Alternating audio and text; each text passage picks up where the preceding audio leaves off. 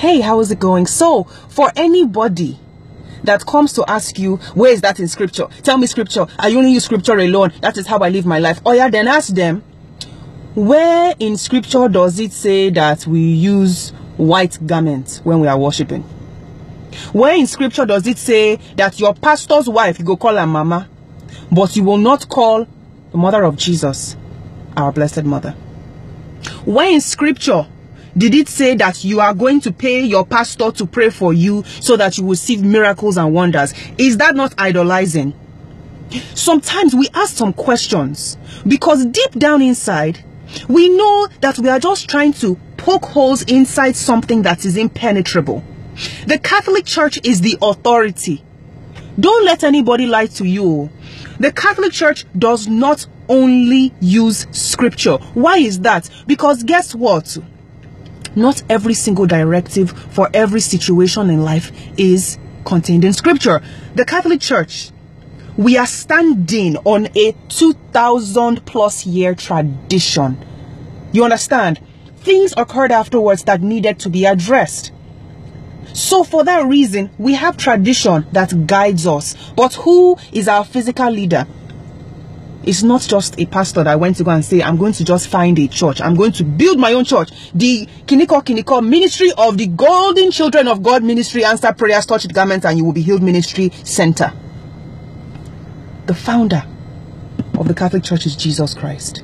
Jesus Christ gave Peter the keys, gave him authority. That is why Peter was the first pope. Did you know that? Peter was the first pope. We are faithful to the pope. Our authority is evident. We respect that authority. We don't go looking for other people. We obey our scripture and our tradition. So when you hear about an encyclical has been published by the Pope, right? If you see the Catechism of the Catholic Church, do you even own the Catechism of the Catholic Church? Did you know we had a Catechism of the Catholic Church? It contains what we believe, scriptural references, tradition as well. Don't let people lie to you. Do not be fooled or deceived. Not every single thing is in scripture. However, the Catholic Church is the authority. Nothing, nobody, no opinion, no extra denomination coming out kiniko kiniko will ever change that in a million years until eternity, until the end of time. So if you are a Catholic and you are wondering, I don't know how to defend my faith, people are asking me all these questions. How do I stand up for it? It is high time. It is overdue. Now is the time for you to learn about your faith. For you to know, okay, what are the traditions that we believe in? What are the scriptural references that even are based in the Bible that we can use to stand up for some certain things? But don't sit there and be pulled into one denomination to the other. Ask them who their founder is.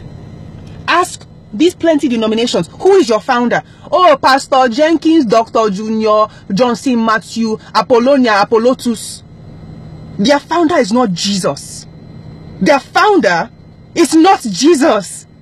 They have no authority. Something about the Catholic Church. Do you know that the Catholic Church is universal? What does that mean? Anywhere you go in the universe, enter into the Catholic Church.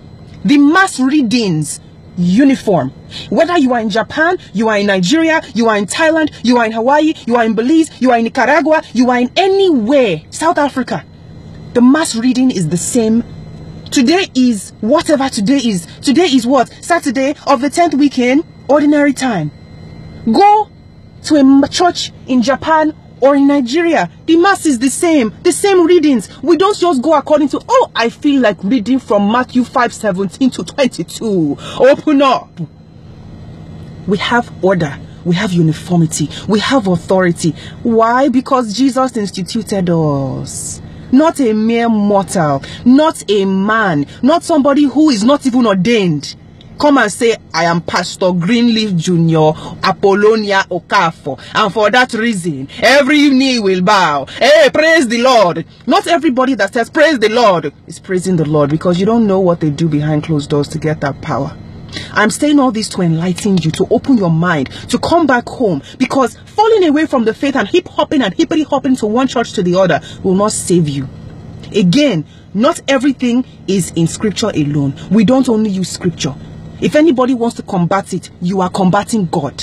If anybody wants to question the Catholic Church, guess what? You are questioning God.